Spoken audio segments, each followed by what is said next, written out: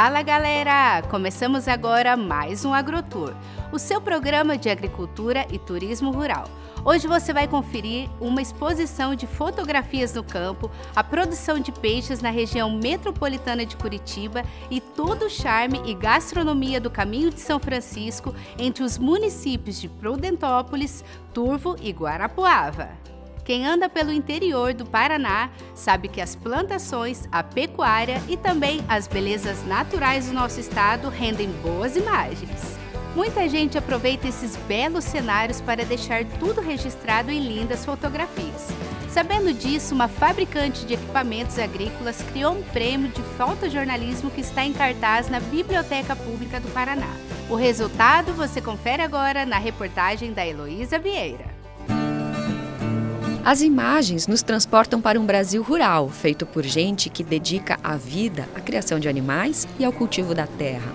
Todos os anos, uma multinacional fabricante de maquinários agrícolas realiza um concurso de fotografia e seleciona os melhores trabalhos da América Latina. Ele é uma boa representação né, do que a gente tem daquele jornalista que cobre a vida do campo e que entende de uma forma muito clara e real de, do que, que significa a realidade né, que alimenta né, a, a, a, grande parte da população do mundo, né, de onde vem, qual é o valor da terra. Né, então, nada melhor do que ter um prêmio para poder reconhecer esse conhecimento desse, desse profissional. Foi durante o trabalho para uma revista que Joel viu este cavalo correndo entre uma área repleta de araucárias. O clique dele foi um dos vencedores deste ano. Eu estava fazendo uma pauta para uma revista, é, uma revista agrícola, né? E, e em um determinado momento me chamou a atenção a, a paisagem e o cavalo que vinha em direção aos pinheiros. Aí eu consegui é, enquadrar e esperar o cavalo passar para compor esta, essa cena. Nesta edição foram mais de 3 mil inscritos entre fotógrafos amadores e profissionais. Os vencedores estão reunidos nesta exposição em cartaz na Biblioteca Pública do Paraná. Essa é uma, uma forma da gente contar uma história, né? da história da ligação do campo e que, que eu acho que, penso eu, né? que para o Brasil isso é importantíssimo. Né? Hoje, mais do que nunca, é a gente valorizar o que, que veio do campo. Né? No, em momentos onde a gente tem escassez em várias partes do mundo, gente, nós no Brasil temos abundância, que é uma terra produtiva. Né? E é muito orgulho, né? é, um, é um grande orgulho, na verdade, para nós, de alguma forma, poder mostrar isso. Né?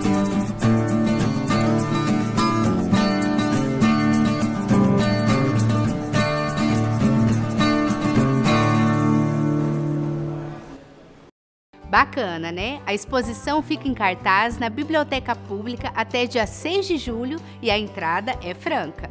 E você sabia que o Paraná é o maior produtor de peixes cultivados do país?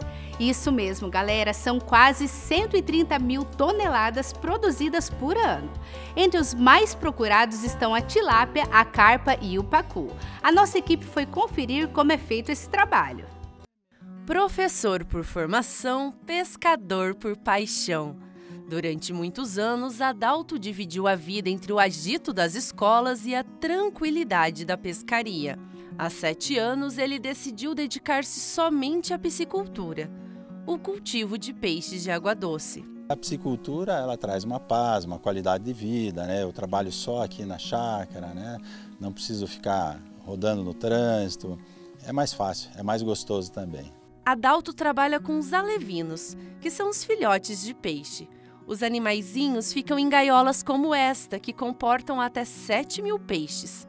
Os peixes são embalados em sacos plásticos, com água e oxigênio puro, o mesmo utilizado em hospitais. Nesta embalagem, eles podem ser transportados por mais de 15 horas com tranquilidade. É fácil entender por que Adalto resolveu trabalhar exclusivamente com os peixes. A chácara, que fica em Colombo, na região metropolitana de Curitiba, é sossegada e rodeada pela natureza. Por aqui, Adalto e um único funcionário cultivam mais de 20 espécies de peixes. 70% da produção é composta por tilápias, a queridinha do paladar dos brasileiros. Na última safra, período que na piscicultura vai de agosto a maio, o empresário vendeu mais de 2 milhões de peixes. A nossa região é muito fria, então ela não é propícia para é, a engorda comercial. A maioria dos meus clientes são particulares, né?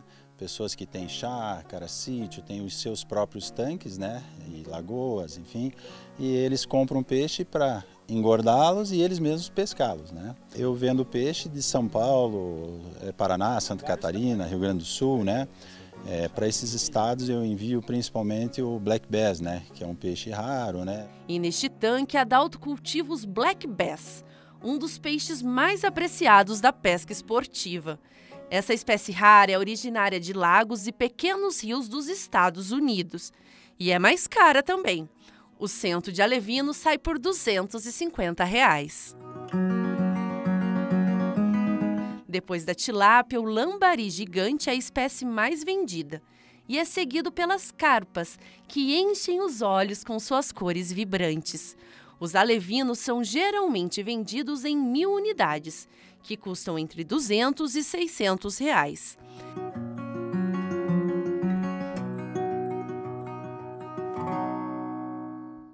Pessoal, agora nós vamos fazer um breve intervalo. Voltamos daqui a pouco, não sai daí.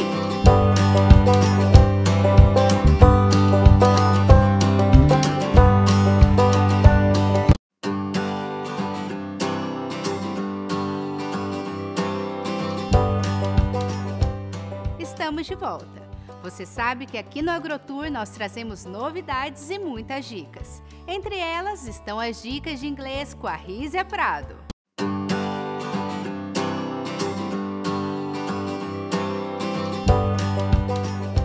Pessoal da AgroTour, nossa dica semanal de inglês.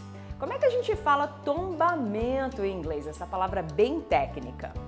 Vamos lá, tombamento em inglês você fala damping off damping off. Vamos colocar aí uma frase agora para a gente poder memorizar melhor? Damping off was a huge issue last season. Tombamento foi um problema enorme safra passada. Espero que você tenha curtido a dica de hoje e eu te vejo na próxima semana na nossa Dica de Egg Minute.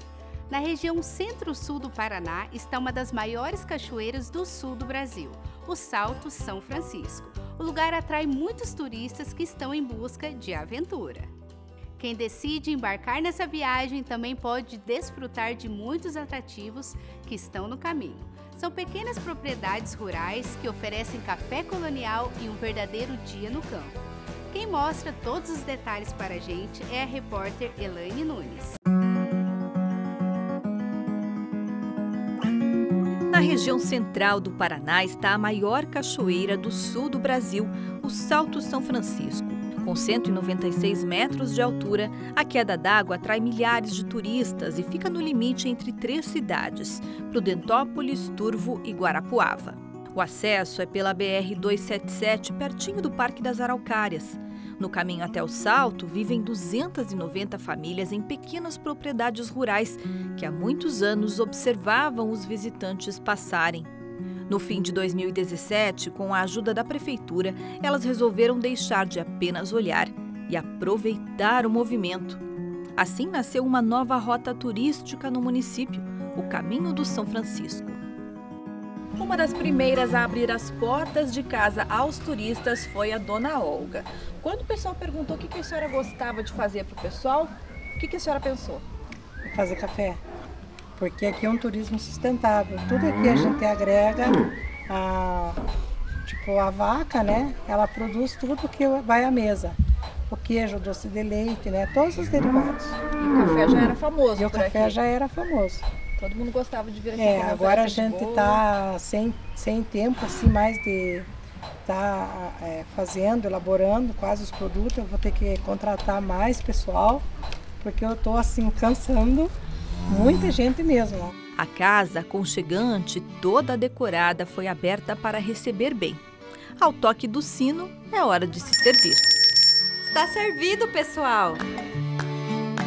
Na mesa, o café dá água na boca ovos virado, linguiça, quase um almoço.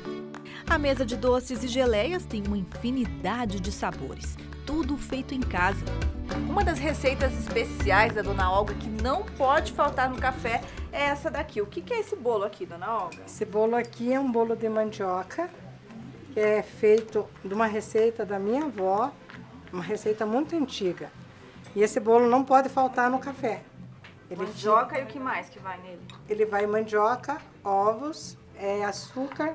Se você quiser agregar coco e leite condensado, ele fica mais gostoso. No inverno, vale até um pinhãozinho feito no fogão a lenha. Serve para aquecer e também para reunir o pessoal e fortalecer a amizade.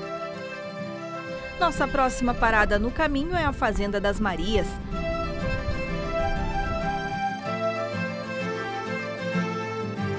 Tá muito gostoso porque a gente conhece pessoas de, de várias é, etnias, várias eh, regiões do Brasil, é, até do mundo, já vieram pessoas de, de outros países. Então, para nós está sendo uma, uma experiência muito positiva. É, é, tem coisas assim que, que a gente até no começo ficou espantado. Quando a minha filha, a Maria do Carmo, me falou, pai, vamos pôr a carretinha para você para puxar os turistas com a carreta de trator e tal. Eu falei para ela, mas meu Deus, quem que vai querer andar de carreta de trator? Está dando soco aí, ninguém vai querer. E acabou que é um dos atrativos que as pessoas, primeiro, a gente já recebe eles lá no portão, no portão da fazenda com a carreta do trator. Chegou a melhor hora do dia, nós vamos experimentar a comida que o seu Acelésio preparou aqui pra gente. Comida da fazenda, do, direto do fogão a lenha. Olha, o cheiro tá muito bom. Vamos lá. A carne de porco, a mandioca, o frango, tudo feito aqui. E que delícia de almoço! Para saborear é só agendar. Nós fomos até a fazenda do seu Nivaldo. Ele também oferece almoço, mas o nosso objetivo aqui foi conhecer o Pingo de Ouro, famoso galo que conquistou a comunidade. Na verdade, a gente conseguiu uns pintinhos, né, para ter na, na chácara. E aí ele foi se destacando porque ele era um pintinho feio, sabe? Tinha as asas derrubadas e de verdade era feio, sabe? Daí eu vi que ele foi ficando diferente dos outros, né? Foi, foi ficando mais velho, foi ficando parece mais bonito. Daí, como ele era mais manso do que os outros, a gente passou próximo da casa, né? Pra ter ele no convívio. E agora ele tá nessa coisa que ele é manso, assim. Quem já sabe da história do galo, né? Chega e já pergunta onde que ele tá, né? e já quer tirar foto e tem que trazer para a criançada ver e pegar e tratar o bicho na mão, né? O galo muito manso, né? Este é só mais um charme do turismo rural, que além de oferecer belos atrativos para os visitantes, também é fonte de renda e de desenvolvimento. É um local rústico, rural, mas que as pessoas sabem acolher muito bem.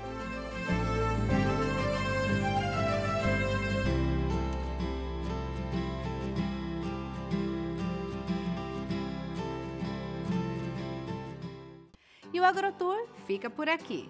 Mas nós temos um encontro marcado na próxima semana. Eu te espero. Até lá!